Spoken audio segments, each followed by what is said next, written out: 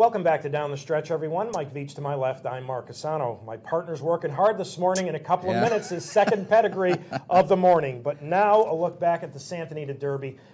You know, my memory isn't what it used to be, but I really can't remember for quite a while Okay. a major stakes race changing so much due to late scratches. That's right. I mean, this one did. this race This one on did. paper when they drew it was one thing and it ended up being 180 Mm-hmm. degrees different first the morning line favorite and one of the speeds the pamplemousse was scratched then z day entered as the rabbit for pioneer of the nile was scratched essentially taking out all of the real speed now take the points owned in part locally here by don and barbara lucarelli who was supposed to scratch to run in today's bluegrass he ended up running because the pamplemousse was withdrawn. So this race was all topsy turvy. The post time favorite at four to five, number four, Pioneer of the Nile, while the second choice at two and a half to one, number one, Chocolate Candy. Now, both these colts, particularly the latter, like or need to have a pace to run at. Pioneer of the Nile is far more adaptable than Chocolate Candy, in my opinion. And he's going to make a very early run to the leader, Feisty Suances. They're going to go 24, 48, and 3. And you're going to see in a moment, folks, he's going to be pulling very hard against Garrett Gomez. Remember, this colt at his best likes to sit off the pace, race covered up, and make one run. Also, Pioneer of the Nile kind of loses interest when he makes the lead early, and that's going to happen in here. He's going to make the lead early in the stretch, and again, he's going to win ugly as he holds safe a late bid from Chocolate Candy to score by a length in the Santa Anita Derby. Now, Garrett rode him the way he had to in here to win the Santa Anita Derby, not the way he really wants to ride the colt. But let's face it, the pace is dead. He knows he's sitting on the best horse. And you know what? I'd rather win ugly than not win at all. That's basically I'm having it. trouble with this race, and um, I, I, I, it has nothing to do with respect for the horse because uh, he's now completed his sweep of the graded stakes preps in California, including the big one and the historic one, the Santa Anita Derby. I, I've the the question in my mind. It doesn't have to be in, in our fans' mind, but the question in my mind is this picture of him down the bad stretch, literally, as they used to say, pulling the jockey out of the saddle. I don't know if it's good or bad, Mark. I really don't know. I don't know if two races back, when he found himself in that position, Pioneer of the Nile has suddenly decided, gee, this is where I really want to be, as opposed to that first race of the year when he came from way off the pace, swung out wide Right. with that great des- Right. I don't have an answer to that, and I think that's what you folks have to decide in your minds is going on here. I think it's totally admirable that he wins this race, and totally admirable is that is that he literally drags Garrett to the front, just drags him there. Then he gets him to settle a bit. Then he comes on and runs again to win this race. And I agree with Mark's comment. It's a win ugly like the last time. We've got a really good horse here, but I've got to throw up the asterisk. It's called the synthetic surface. I mean, you know, we don't know what's going to happen. Is it Colonel John? I really don't know. And uh, if he moves as well as I want revenge moved, well, then we've got a whole different story on Kentucky Derby Day. But it's a nice measured win. I just don't know. And, and, and for me, complicating it, and this is not a criticism, because I, I mean, Bob Baffert is just a tremendous trainer. He loves to drill his horses Oh, yeah. hard, and that may be a part of it too.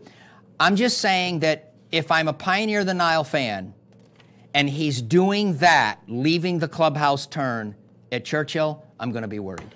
That's that's what I'm saying. That's my only consideration. I'm not a seasoned handicapper. I just don't like to see that then. That's all. You well, know? I, I think your concerns You know. are legitimate.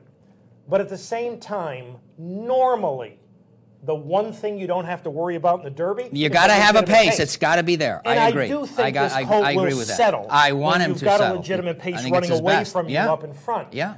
I think it's a credit to him. Not that he's beating a tremendous amount. Although I do think Chocolate Candy will be, you know, one of the many Yeah, wise he's a- guy horses, a- you know, in Yes, three weeks. yeah.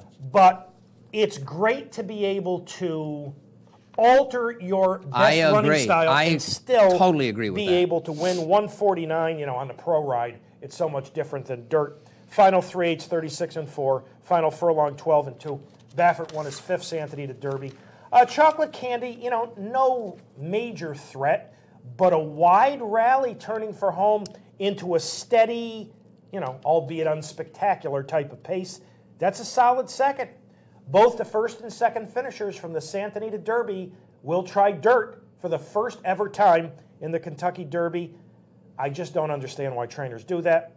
Mike Smith will ride Chocolate Candy for Jerry Hollendorfer in the Derby. Now, with that said, I do feel it's easier for a good horse to go from synthetic to dirt than vice versa. Mr. Hot Stuff, a belated inside rally for third. He doesn't have enough earnings. And take the points, a one paced fourth. I thought he should have ran better considering the pace scenario. Yep, yep. But you know what? All Pioneer of the Nile does well, is go out there and win. That's respectable. And, and you, you, you might say, you know, you might say that as a measure of his class, we were all um, enthralled with take the points effort last time out. Maybe he paid a price for that against a high quality horse. We'll have to see. All right, pedigree number two. Within this pedigree profile, and again, they're not labeled, so, so try to pay attention to the numbers. You're going to see a victory in the California Derby, where he was number five. You're going to see a win ugly victory in the El Camino Real, where he was number seven. And then you're going to watch his rallying second in the San Anita Derby once again, where he was number one. Ladies and gentlemen, Michael's look at chocolate candy. Beautifully named, bred by the late Sid Craig and Jenny Craig, owned by the Sid and Jenny Craig Trust, trained by the tremendous horseman Jerry Hollendorfer. Candy Ride is the sire, and when he came to this country from Argentina in 2003, he took us by storm. The aforementioned Craigs authorized Hall of Fame trainer Ron McAnally to purchase him for a reported $900,000 off his Argentine form, which included a Group 1 victory at one mile in 131 flat. I'll repeat that 131 flat. the Craigs knew well the potential from Argentine breds, having had success also with Paseana and Grade 1 winner different. McAnally fiddled with him for a few months before turning him loose at the Hollywood Park summer meeting, at which Candy Ride won an allowance and the American handicap on turf. Six weeks later, Candy Ride destroyed his opposition. It's the only word I can come up with. This included the brilliant Medaglia d'Oro in the Grade 1 Pacific Classic, earning a Beyer speed figure. I don't use these numbers much, but I had to throw this one in there of 123 for a mile and a quarter. Pretty good number. Julie Krone was aboard that day for the first $1 million score by a female jockey. Candy Ride never lost in Argentina, and he never lost in McAnally Shedrow, and Chocolate Candy is a member of his first crop to race. This group also includes graded stakes winners Captain Candyman Can, last seen winning the Bayshore last week, and Evita Argentina, winner over males in the San Vicente. Pretty good. Three graded winners from the first crop. Candy Ride is a son of stakes winner Ride the Rails, who finished second to Holy Bull in the 1994 Florida Derby and is a leading South American sire. This is the native line through Fappiano, the sire of Ride the Rails. Candy Ride is a very bright example of how a superb thoroughbred can come from anywhere his mother, Candy Girl, was unraced, as was her mother, City Girl. City Girl, though, produced multiple Group 1 winners City West, whose victories included the Argentine Jockey Club at a mile and a quarter. Chocolate Candy's mother is Crownette. This daughter of Triple Crown winner Seattle Slew, and we're going to use that phrase again and again, was bred by Calumet Farm, and she won the Santa Isabel Stakes at a mile and a sixteenth. In addition to Chocolate Candy, she's also the dam of Stakes Place Crowning Storm, who finished third to Tiznow in the Grade 3 affirmed handicap at a mile and a 16th. Second dam in memory by Triple Crown runner up Alydar was an unplaced mare whose only stakes winner was the above mentioned Crownette, but whose own mother won't tell you produced one of the greatest runners of the 20th century in Triple Crown winner affirmed. Affirmed, of course, amassed the 10 furlong Derby, the 9.5 furlong Preakness, and the 12 furlong Belmont, in addition to such major events as the Hollywood Gold Cup and Jockey Club Gold Cup, both events at 10 furlongs, and both over tremendous foes such as Spectacular Bid and Alydar. His mother also produced Love You Dear, winner of the matinee stakes at one mile, and placed in the Grade 3 Wilshire handicap at a mile and a 16th, both on turf. Won't Tell You also produced Silent Fox, third in the Grade 1 Strub at 10 panels, and Won't She Tell, winner of the one mile Blush with Pride Stakes on turf. But don't you find it fascinating that, as if to uphold in some mystical manner, that a firm's mother, when bred to Alydar, produced the windless in memory? Never mind the gods of the Kentucky Derby. The gods of the breeding shed also direct events in ways that we will never fully understand. Chocolate Candy's fourth dam, Scarlet Ribbon, was about as ineffective as second dam in memory, but his fifth dam, Native Valor, came from a highly valued family that in succession went to three of America's most prestigious and influential sires.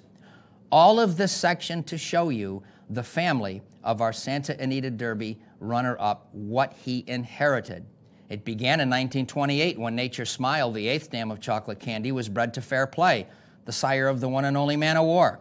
The result of that mating was Native Wit, the seventh dam of chocolate candy, who in 1938 was bred to Sir Galahad, the sire of America's first Triple Crown winner, Gallant Fox.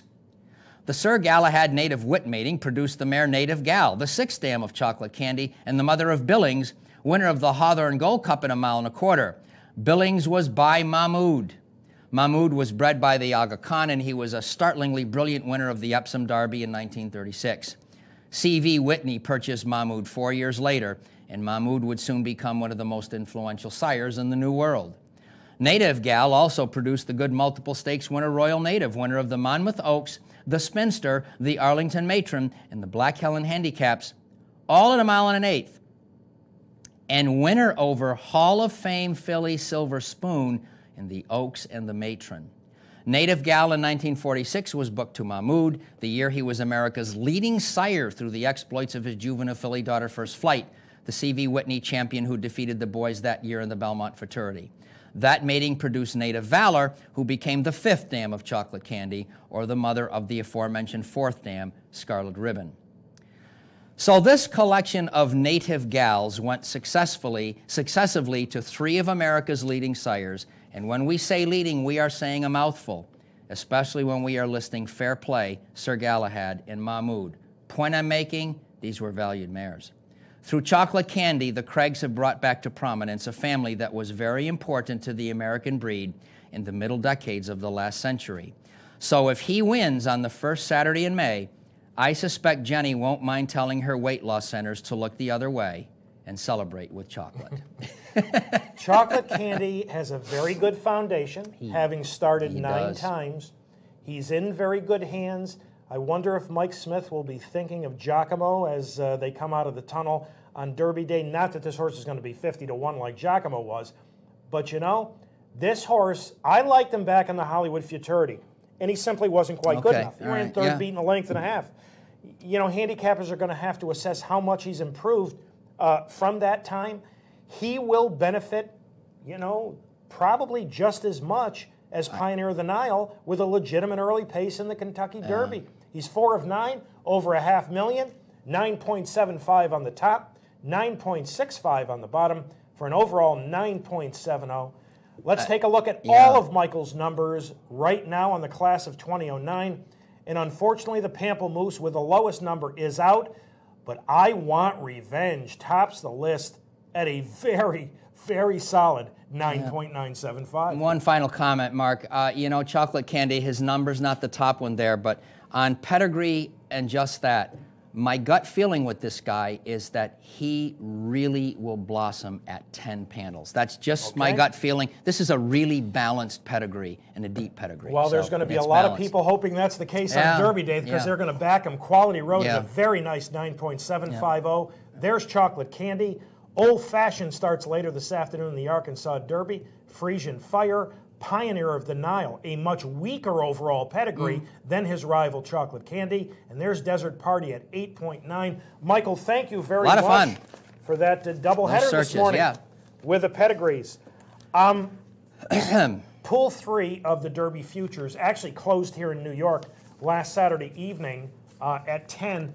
Here's a look at the closing odds and the favorite, and, and this is certainly not a surprise. I want revenge off that Wood Memorial victory at four and a half to one. Here's the irony, and I think you folks who are regular viewers of this show, you basically know how I feel about these future pools. No. Um, I want revenge. The favorite in pool three, ironically, of all the horses in all three of the pools, I want revenge offered the most value. Not in pool three, but back in pool one. Because pool one was conducted the weekend where I want revenge looked, he appeared to hang in the stretch mm-hmm. when running third in the Robert Lewis. Mm-hmm. What we didn't know was, and what turned out to be the case, he hated that surface. Mm-hmm. He was 54 to 1 in pool one. Oh, wow. 54. Lord. He was the longest price of any horse in pool one, Oh, Lord. including horses who, as I said that day, would need public transportation to get a mile and a quarter. 54 to 1 in pool one. The other interesting thing about pool three, it did not include Square Eddie. And of course, it's not going to include Flat Out because I'm the only one who even remembers that horse. So there's a look at the closing odds from pool three. One of the horses they're hoping to get into the Kentucky Derby is Charitable Man.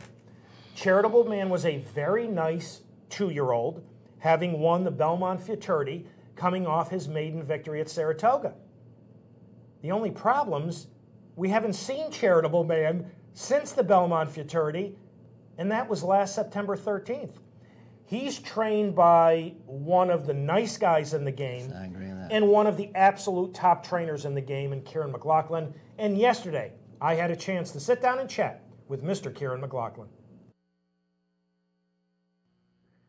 Kiaran, as our audience watches Charitable Man in his last start, the September 13th Belmont Futurity, and I'll remind the audience he's breaking from the outside post position.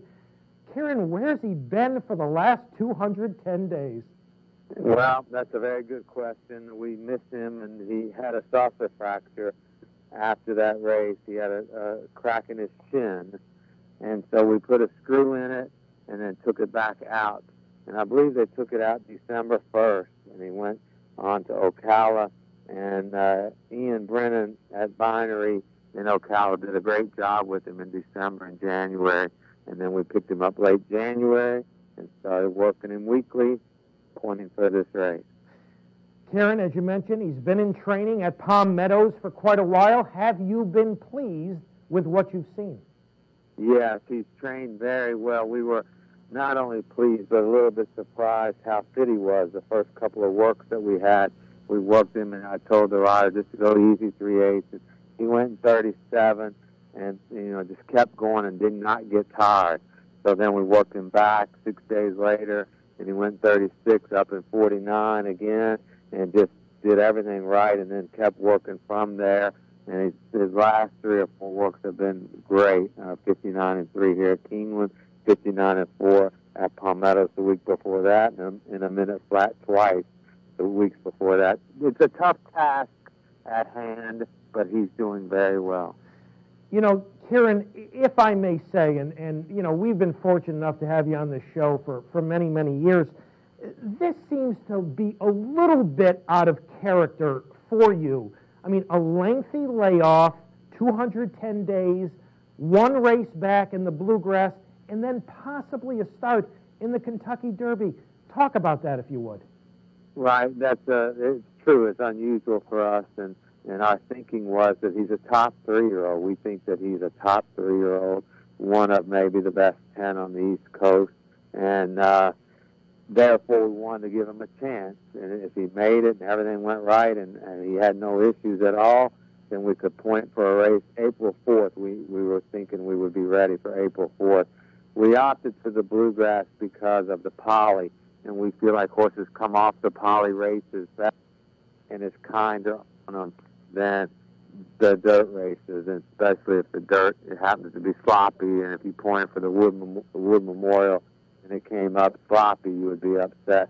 So we decided to point for the bluegrass for the last month or so. We've been pointing for this race because horses come off this racetrack um, in better shape. They don't react, uh, bounce, you know, per se, off of the poly like they do a dirt track. And we think it's easier on a horse and kinder on the horse. So if he gets a little bit tired, he gets a little bit tired, but they'll probably go 24, 49 and change, three quarters and 14. And that's a big difference in three quarters and nine and four on a dirt track, or 10 and change. So if he comes out of the race in good shape and runs in the top five, we think that he has a legitimate chance to win the Kentucky Derby. We're not just going to run to have a runner. That's not our style. So, aside from the graded stakes earnings situation, what exactly is he going to have to show you in the bluegrass to say, okay, let's go on to Louisville and try the Derby? Right, that's a good question. We feel like that there's only one other speed horse in the race. Join in the dance. Todd Pletcher, Johnny Velazquez will probably be on the lead, and we're going to be fresh, and we have pace and speed, so we're going to be probably laying close to him in second. Hopefully, we don't get into a speed duel. We just be sitting out there relaxing in second, and and if he gets a little bit tired and finishes fourth or fifth, and uh, comes out of the race great, does not get beat ten lengths, then we would probably go on to the Kentucky Derby. If he gets beat double digits and finishes eighth, we're probably going to regroup and and look at uh, the races later in the summer because he's a very nice horse and there's a lot of opportunities for him. Kiaran, how has Charitable Man changed, well, physically and maybe mentally, from two to three? He's very matured looking. He's he's matured well, put on weight, filled out. He's a He's a very, very nice horse. He does everything right, and he looks great. He moves well, and he's got a great mind. And he didn't have to change a lot, but he just grew up a little bit from over the winter, and we hope that he runs very well because we think he will. Well, you sound awfully excited about your colt. And before I let you go, got to talk to you about your wonderful three year old filly, Just Whistle Dixie. Here she is in her most recent victory the Bonnie Miss at Gulfstream. Talk about her for a moment, Karen. Well, you know, Art Magnuson had her in New York for the winter. We started there, and he did a great job with her, and she won a stake. And I talked to Terry Finley about, you know, we needed graded earnings to improve her value, and we always thought that she would stretch out. And we were always asking her for to go six furlongs. We were having to ask her early and stay after her. And I thought going a mile or further, she would just be there and relax and and come running. And uh, the Davona Dale was a perfect spot to try and stretch her out. And she stretched out beautifully that day and then came back to win the Bonnie Miss with Julien Leparoux. He was filling in for Alan Garcia while he was in Dubai. So Alan Garcia will ride her back in the Kentucky Oaks. And, you know, she's a very nice filly, does everything right, and a neat filly to be around. And is it five in a row she's won now? Yeah. Four in a row. And, and, and, you know, Karen, it's been interesting because this spring we've gotten teased that maybe a couple of fillies were going to run against the boys. And of course, they were stardom bound in Rachel Alexandra. But when the late nominations came out to the Triple Crown, there's the name Just Whistle Dixie. Why was she a late nominee to the Triple Crown? You would have to ask somebody other than myself because I certainly would not have done it. and I, I, I told Terry Finley that, and he said Louis Lakin owns part of her, and, and he put her in the race, and and uh, just thought, you know, uh, why not? You know, it's six thousand dollars, and let's do it. But but we're definitely not running the Kentucky Derby, and um, I would doubt that we would run the Preakness or the Belmont. So I'm not sure why they put her in there, but you know, you never know. Things, strange things happen, but uh, we're going to stay with the fillies. Well, Karen, as always, we appreciate your time. Thank you so very much for having joined us this morning on Down the Stretch. All the best with Charitable Man coming back later this afternoon in the Bluegrass. All the best with Just Whistle Dixie in the Kentucky Oaks, and we'll look forward to speaking with you again very, very soon. Thank you very much. Karen McLaughlin, ladies and gentlemen, the conditioner of Charitable Man. It's just really pretty interesting and uncharacteristic for Kiaran. 210 days off. Yeah. But isn't it interesting his explanation of Why the bluegrass? They've never run him on synthetic before, Mm-hmm.